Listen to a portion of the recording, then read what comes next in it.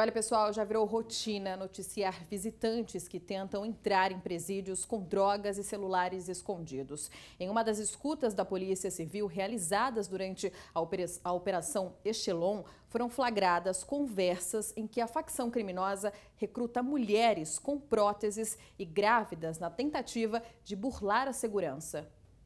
Esse é o saldo das apreensões feitas pela polícia depois de uma ação realizada em apenas um final de semana de visita na penitenciária de regime fechado de Pacaembu, na Nova Alta Paulista. Drogas e celulares estavam com as mulheres de presos. A tentativa era conseguir entrar na unidade sem serem flagradas. Elas tentam entrar de várias formas, né?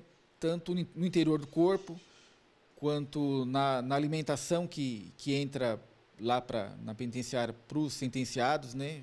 A gente percebe também, às vezes, até na, nas correspondências é, SEDEX que, que eles recebem, também é, tem, eles têm tentado, tentado entrar com droga nessa, nessas correspondências também. Então, são várias formas que eles tentam entrar. Um balanço da Secretaria da Administração Penitenciária nas unidades do Oeste Paulista revelou que de janeiro a junho desse ano foram mais de 300 flagrantes de drogas, 170 de celulares e 138 de microchips, resultado do endurecimento na fiscalização e de trabalhos de investigação, como a Operação Echelon.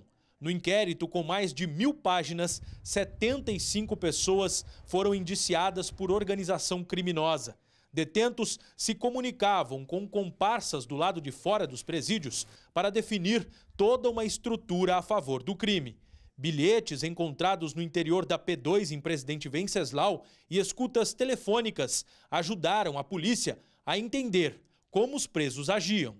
Uma das conversas interceptadas saiu aqui da penitenciária de Pacaembu.